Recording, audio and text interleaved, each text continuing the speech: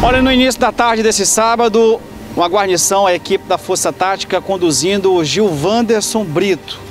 Ele que é da cidade de Lago Verde, do povoado Fumaça. Com ele foi encontrado ali nas imediações do estacionamento do Mix Atacarejo essa motocicleta que você vê aqui nas imagens. É uma moto XTZ Yamaha da placa PSN 9763 de Codó. O policial que faz a segurança na área do Mix Atacarejo fez a averiguação dessa motocicleta e constatou no sistema, no Cinesp, que essa motocicleta se trata de um veículo roubado. O proprietário de posse dela, no caso aí o rapaz, o Gilvando, ele acabou sendo conduzido aqui na delegacia e vai conversar com a delegada Maria Augusta, delegada plantonista do final de semana, para explicar toda essa situação.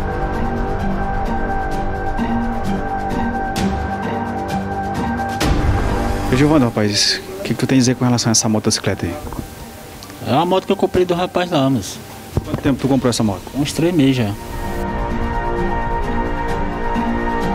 Quais procedimentos foram feitos com relação à condução aí desse rapaz que é da cidade de Lago Verde? A guarnição foi informada através de um policial que estava de folga, na dependência do Mix Mateus, encontraram uma moto possivelmente roubada ou furtada. Ao deslocar o local, a gente constatou a veracidade de que ela poderia realmente ser objeto de crime, furto, roubo. Então a gente achou por bem fazer a condução dele. Ele afirma que comprou de outra pessoa. A pessoa informara a ele que a moto é, era legal. Não fez a devida consulta, acabou comprando e tá, a gente conduziu para a delegacia. Ele chegou a dizer que essa é a pessoa que ele teria comprado essa moto? Ele conhece, é vizinho dele lá.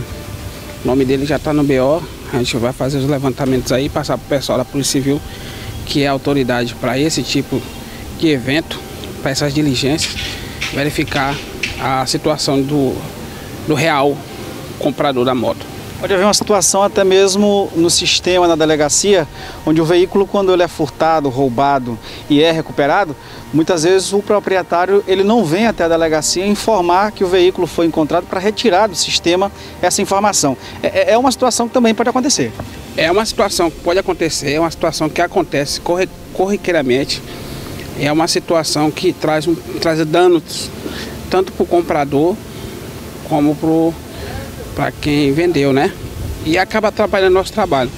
Porém, é, pela situação dela ter sido encontrada dessa forma, é, cabe à Polícia Civil fazer esse levantamento, ir atrás das, da real situação, se, se realmente ela é furtada ou roubada. Porque muitas vezes a pessoa vende um, um veículo e o, o comprador não paga, some com a moto e o proprietário acaba restando queixa por furto ou roubo.